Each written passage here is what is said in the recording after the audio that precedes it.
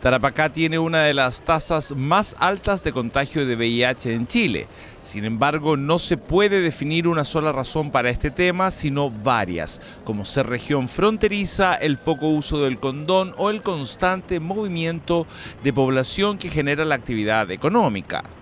Las personas no adoptan las medidas preventivas para evitar una transmisión. Eh, el hecho de que cada uno decida, ¿no es cierto?, y cada uno es libre de decidir cómo ejercer su sexualidad y cómo y con cuántas y quiénes y dónde y en qué momento poder tener relaciones sexuales, eh, claramente es una posibilidad de intervención en el, momento en que las personas acepten eh, el correcto uso del preservativo, que desafortunadamente en nuestra sociedad no tiene una alta aceptación el uso correcto y adecuado del condón.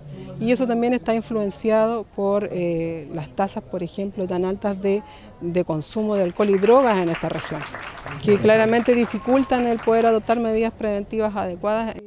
Debido a estas estadísticas es que en nuestra región se definió la distribución de test de VIH rápidos y ya hay 1.140 disponibles hizo una evaluación eh, asociada a la tendencia que tenía el virus, ¿cierto? las notificaciones de virus VIH-Sida, como además también la enfermedad que es el SIDA.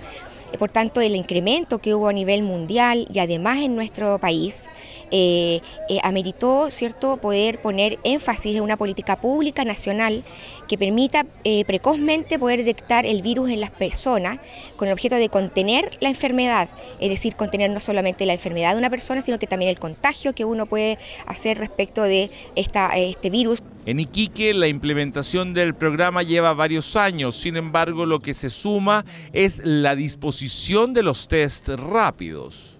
Detección precoz del test del examen de VIH a través del test rápido lo iniciamos ahora a contar del día 7 de noviembre y se extendió a los cuatro centros de salud familiar de la comuna.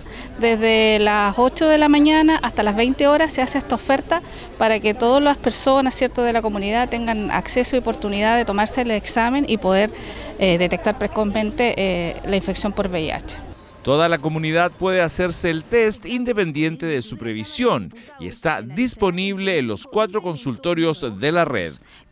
Todo lo que es resultados y consejería también se les va a entregar en este minuto por el equipo de salud a todas las personas de la comunidad.